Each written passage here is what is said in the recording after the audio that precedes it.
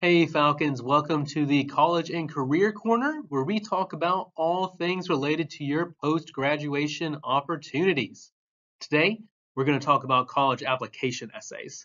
As a quick disclaimer, this info is geared toward the Common App essays, but it still applies for all other college essays, including ones that you would do for scholarships. First off, I get it writing college essays isn't fun. It can also be pretty intimidating, especially if you don't know what the college is looking for or how they're going to be reading your essay. Sometimes the best news is that a college doesn't require an essay.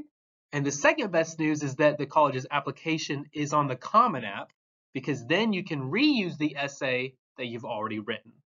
Regardless of if your college's application is through Common App or another platform, Here's some advice to help make writing your college application essays easier. Sometimes, like with the Common App, you're given the option to select a topic to write on. Selecting your essay can be difficult, but don't ever think it. There's no perfect essay that every college wants you to answer. College views your essays to see one, if you can write well, and two, to learn more about you. So I recommend identifying topics that you care about or that you think that you relate to well. The most important tip on this list, though, is to be authentic and personal. How quickly can you identify if someone's being fake or avoiding talking about something? I promise you colleges can see through that stuff too. Also, use the word count that you're given, but don't fill your response with fluff. The quality of your words in your essay far more important than the quantity of your words.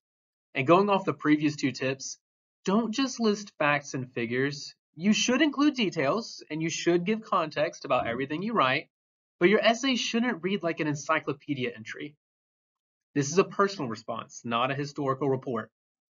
As with any essay, don't be afraid to get some feedback. Ask a teacher, a friend, a mentor, a parent, or a guardian.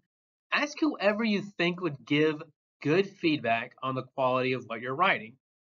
You want to make sure that they're looking for your grammar, readability, interest, and these are also all the qualities that you should look for in your essay anyway.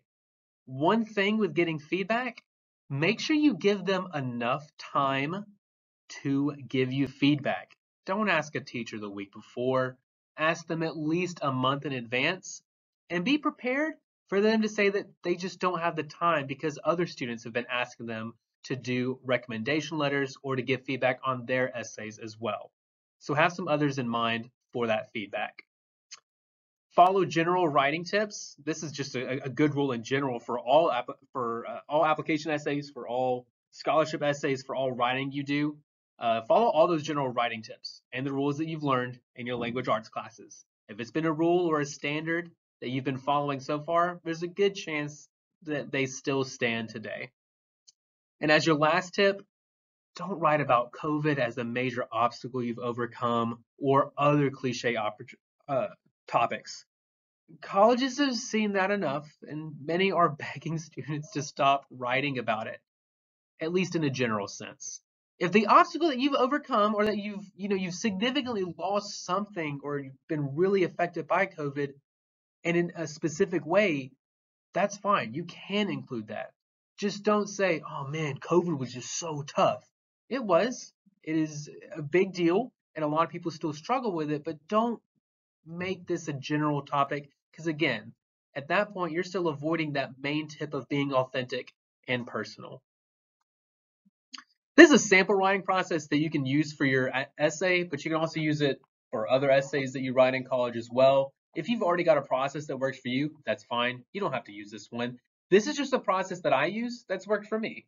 And one thing that I've picked up that may help you throughout the entire part of it is talking through your topic. What I mean by that is use your phone or an audio recorder to talk through your response. You can even use the talk to text feature to actually have everything written down for you at the same time. If you're not confident in your writing ability, just start with talking through it.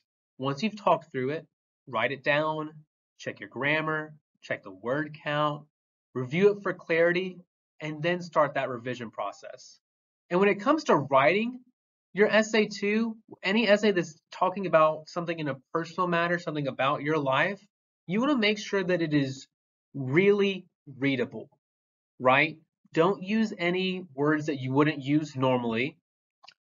As a general tip, if like a fourth grader or a fifth grader could not understand the essay that you write, you need to revise it a little bit more to make sure it's more clear, that it's more concise, and that it reads well, right? As a final piece of advice, remember that colleges want to learn more about you in these essays. The question doesn't have to be perfect. Your response doesn't have to be the perfect response to that question. Most colleges feel that prompts in these essays should just be left open to your interpretation anyway.